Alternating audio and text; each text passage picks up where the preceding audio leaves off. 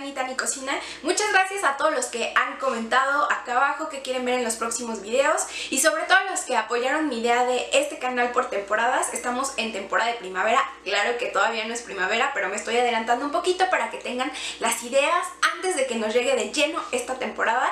Y bueno, el día de hoy voy a enseñar a hacer una ensalada fresca súper rica con frutas de temporada, en este caso que es la estrella, es la fresa, porque donde vivo siempre hay fresas, pero en esta temporada son unas fresas así gigantes, deliciosas, súper jugosas, así que yo tenía que aprovecharlo esto para una ensalada. Y bueno, a diferencia de lo que mucha gente piensa, las ensaladas no nada más son como comer pasto y ya, Pueden ser súper nutritivas, fáciles, frescas y sobre todo divertidas. Les podemos poner lo que nosotros queramos, proteína, semillas, eh, no solamente tienen que ser de lechuga, podemos combinar varias plantitas verdes. Así que digo, de verdad, las ensaladas son la onda. Así que no olvides suscribirse acá abajo y vamos a comenzar.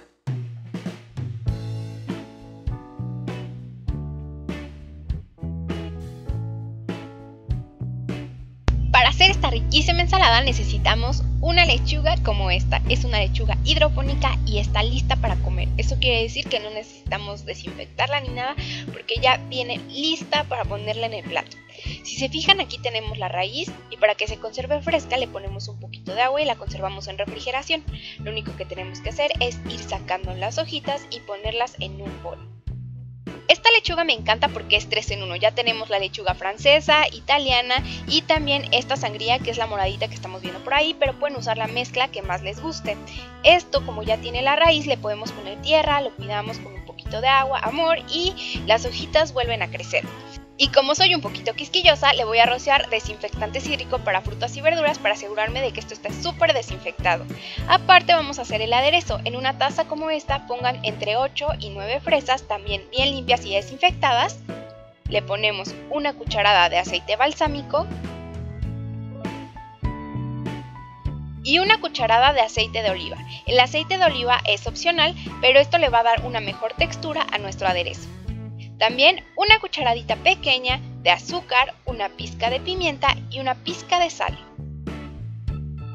Y simplemente vamos a moler todo esto, ya sea en la licuadora o con esta que es de mano. Trituramos las fresas súper bien y nos va a quedar un aderezo delicioso que podemos conservar en refrigeración hasta por 3 días. Para acompañar la ensalada reservé unas cuantas fresas que voy a rebanar de esta manera.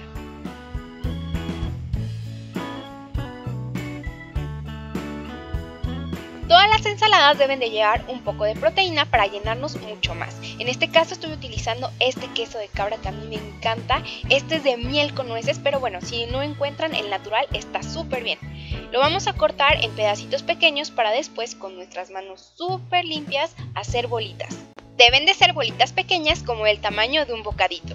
Y si no encuentran queso de cabra o no les gusta, pueden usar queso crema. Y reservamos en refrigeración hasta la hora de servir.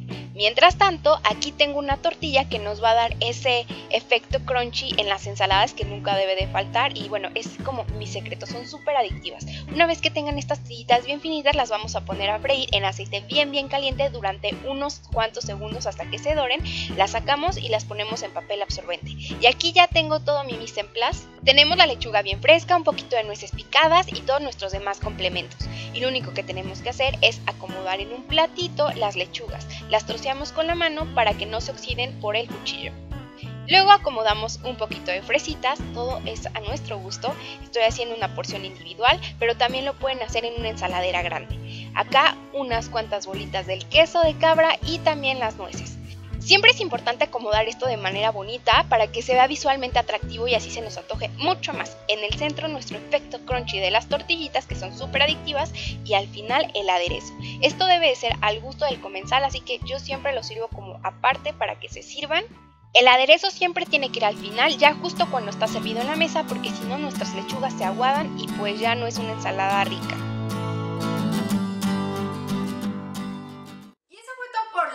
Del día de hoy. Espero que les haya gustado, la verdad es que lo tienen que intentar. Es algo muy fresco, fácil y rápido de hacer. Es lo que me gusta de las ensaladas, que bueno, podemos cumplir con todos los nutrimentos que necesitamos allí en una ensalada y bueno, es súper fácil y práctico, solamente juntamos todos los elementos y ya está nuestra deliciosa ensalada.